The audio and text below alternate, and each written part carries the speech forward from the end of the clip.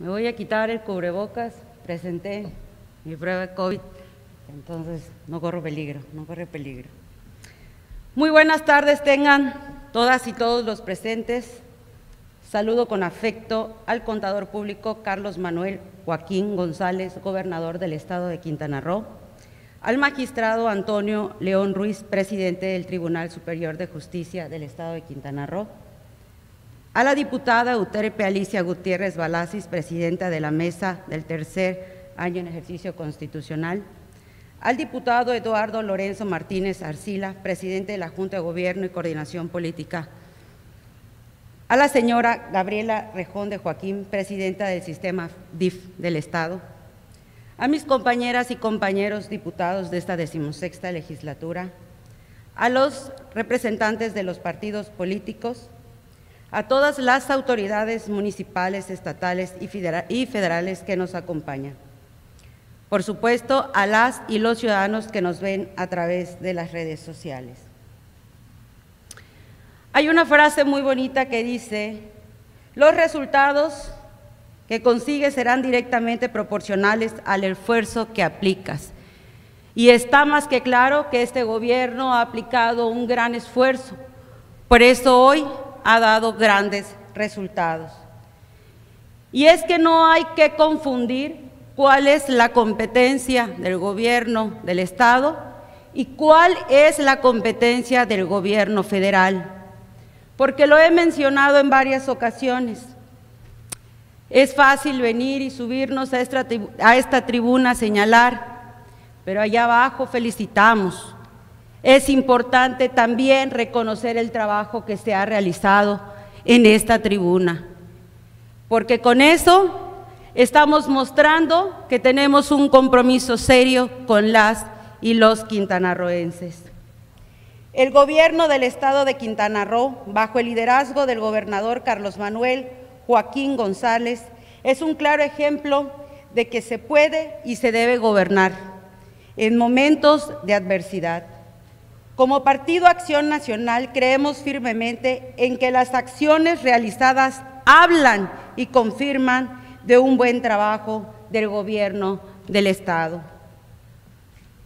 Y es justo decir que con la conducción del gobernador Carlos Manuel Joaquín González, Quintana Roo, González, Quintana tiene un gobierno democrático donde se respeta la autonomía de los órganos constitucionalmente autónomos y los poderes del Estado. Esto ha permitido que nuestro Estado sea un Estado que vive una verdadera democracia y hay que resaltarlo. Nuestro Estado hoy vive una verdadera democracia. Una democracia que no solo se queda en el discurso, una democracia que se construye en la, en la diversidad de opiniones, pues escuchar a todas y todos es prioridad, demostrando así una muy buena forma de gobernar. Muchas felicidades, gobernador. Hoy recibimos el quinto informe de las acciones que el gobierno del estado de Quintana Roo ha implementado en beneficio de las y los quintanarroenses. Un informe detallado que nos permite ver resultados contundentes.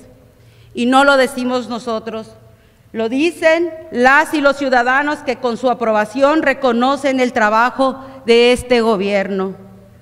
Quiero también hacer un paréntesis para reconocer a la señora Gabriela Rejón de Joaquín por su gran labor desde el sistema DIF, pues mucho se ha hecho y poco se ha reconocido. Muchas felicidades.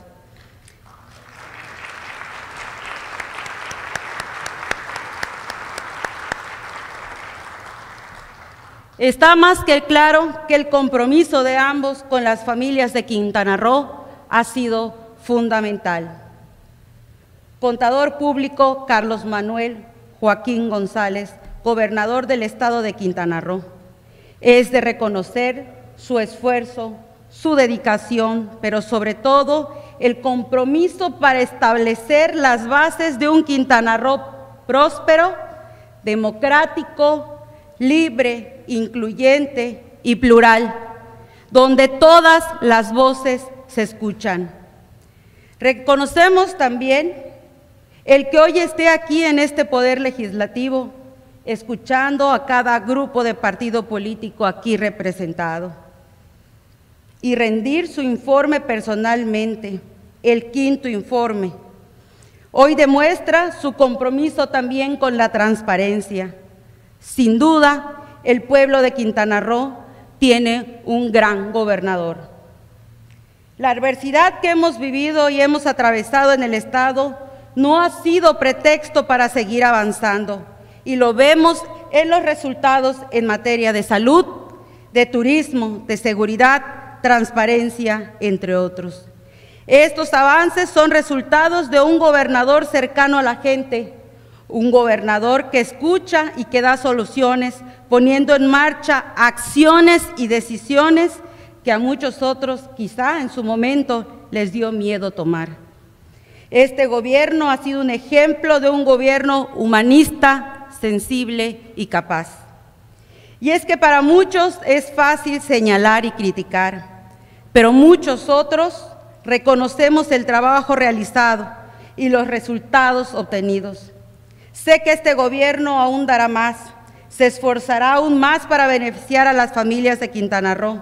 Sé que este gobierno redoblará esfuerzos para que juntos salgamos adelante. El Grupo Legislativo de Acción Nacional y nuestro presidente estatal, el licenciado José Faustino Huicapa Alcocer, a través de mi conducto le envían todo su respaldo, una felicitación y el reconocimiento a su liderazgo. Y es que también se vale, pues gobernar con liderazgo y ahínco, pese a la adversidad de la crisis sanitaria, los huracanes o cualquiera vivida en nuestro estado, no es fácil, pero se ha hecho y se ha hecho bien. Hoy estamos aquí de pie y con mucha más resistencia. Quintana Roo es un estado fuerte, eso nos queda claro, pero bajo su conducto, Quintana Roo tiene un aliado en el que las y los quintanarroenses confiamos. Democracia sólida, programas en beneficio de los quintanarroenses, estrategias de reactivación económica, buen manejo de la crisis sanitaria, seguridad, inversión en obra pública, finanzas sanas, son pocas de las muchas cosas buenas que podemos resaltar de esta administración. No me queda más que felicitarle nuevamente a usted, a su esposa y a su equipo de trabajo por los resultados obtenidos. Al mismo tiempo, refrendarle el compromiso del Grupo Legislativo de Acción Nacional para trabajar en conjunto, siempre en beneficio de Quintana Roo y las y los ciudadanos. Es cuanto y muchas gracias.